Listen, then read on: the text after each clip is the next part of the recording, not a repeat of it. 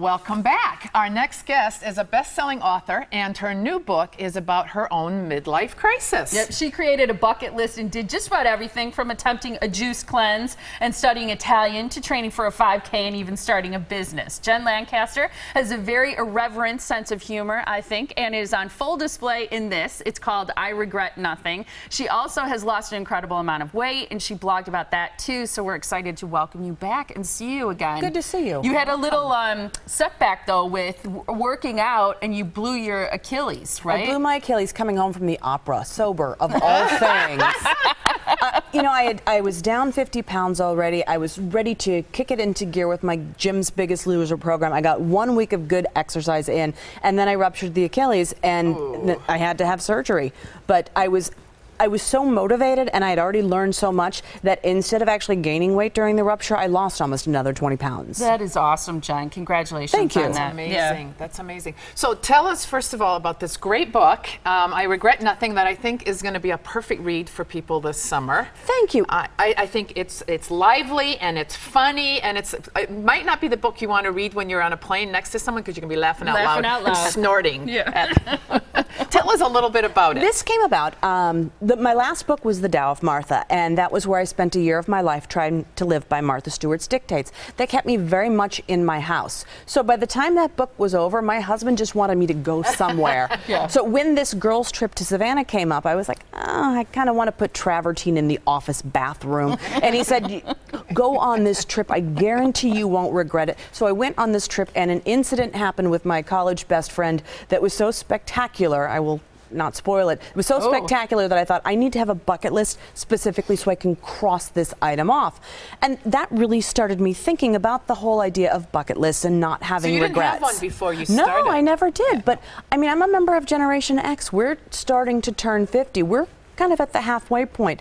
And the thought was, if not now, then when? When? right. Mm-hmm. What's the craziest thing that was on your bucket list, in your opinion?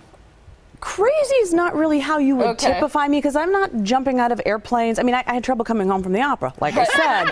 um, I'm not. I'm not running with bulls. I think the best thing, the most exciting thing, was to travel to Italy by myself. My husband did come halfway, but I went. I spent a year learning the language, and when I went to Italy, I was ready to communicate. I was ready to, to speak Italian, and everyone spoke English to me. I, had the same. I had the same situation when I went to Spain, and I was. I practiced everything I could say, and the one thing, and I don't remember how to say this anymore, was how to say, "Can I have my fish without a head on it?" and I ended up doing. I was saying something really rude, and and people thought that was just hilarious. Did you have any experiences like that with waiters or in restaurants? Well, I, I learned the hard way that apparently ordering a cappuccino after 5 p.m. is like painting a Speedo on the David. It's just, Not it's, done. they're just disgusted. They're disgusted with you. Really? That's what bothers you? And I, I mean, I was so prepared. I learned all of these little phrases because I thought that, um, that I would be attacked by pickpockets. I mean, I've been to every major city in the country on book tour, but I don't know why I thought Rome would be so much scarier. So I learned how to say things in Italian like, I'm an American, so I have a gun. But I would say it in a really low, menacing tone so they would know that I meant business. I didn't have to do that. Good it was fine. That's it was good. fine. A good thing to practice in front of the mirror, though.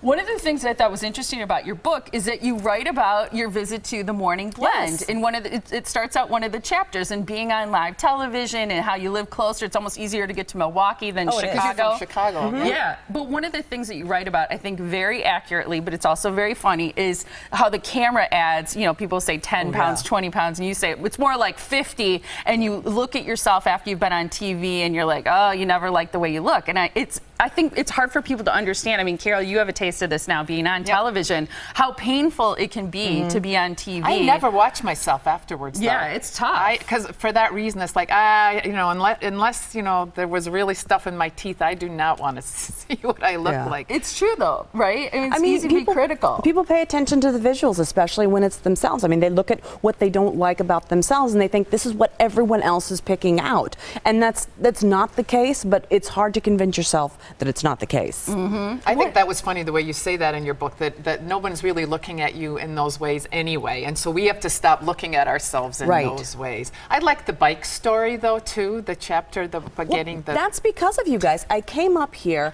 and one of the things that I was thinking about doing on my bucket list was to learn to ride a bike. And I, I hadn't been on a bike since I was a kid. So in my head, I kept thinking, are people going to think Queen lyrics when they see me on a bike? so it made me anxious. But as I was coming home from Milwaukee, coming along the lakefront, your lakefront is spectacular. Oh, it really is. Thank and, and you. there were so many people riding bikes, no helmets, don't know why. Yeah, Not well. my problem. I don't live here. Um, you know, that's we on, have hard that- heads. That's on you. That's on you. But I saw so many people on bikes of all sizes, of all ages, like in dresses, that it was really inspiring. So while my husband was talking and driving, I was online ordering.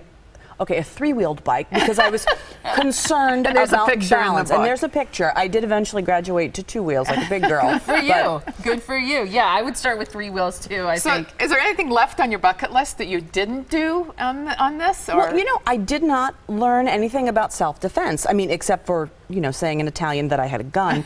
so that's one of the things we're going to be doing at my event tonight. Excellent. That's great, Tell us a little bit about your events and, and the- highlighting these elements. Every every event I've done on this tour so far, we have highlighted a bucket list element. A lot of them have been with wine tasting and learning about Italian food. People have really liked those. One was about running a 5K. Everyone was mad. Um, But tonight we're going to be doing a bucket list challenge, learning a little bit about self-defense at Boswell Book Company tonight, and it's going to be a lot of fun. Yeah, it's awesome for people to meet you, especially fans of your books.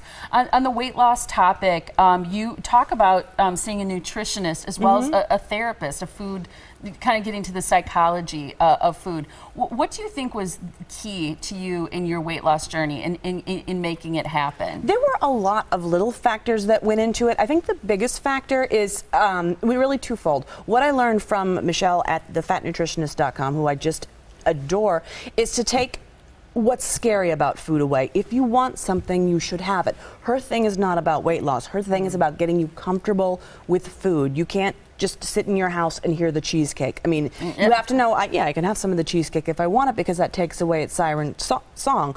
But by working with an emotional eating therapist, I learned what triggered me. So between the two of them, I came up with an approach that to me is groundbreaking, but maybe then people already know this. I thought I would never go to Nordstrom and buy everything in the store because there would be consequences. Why was I doing that with my body with food? There were consequences. Now I know I'm very diligent about tracking things, about tracking my exercise, and I know now that I can have anything I want. I just have to work for it. I think that's I like great that. advice. It's wonderful advice, and and I think your tone is probably my favorite thing, both live and in the Thank book. you. Um, I'd like to take a trip with you. Yeah. Oh, that would I be fun. too. Sign us up, fun, Jen. yeah. I like it. And you can meet her tonight if you go to Boswell Book Company on Downer. You can talk too about her bucket list challenge. You're going to learn a little self defense tonight if you go and visit. You can visit jenlancaster.com. That's her website. The book, again, is I Regret Nothing. And the um, event tonight is at 7 o'clock. Always great to see you. Come back good to see you. Wonderful. Thank anytime you. you want. We Happy love it. healing. Thank you. Yeah.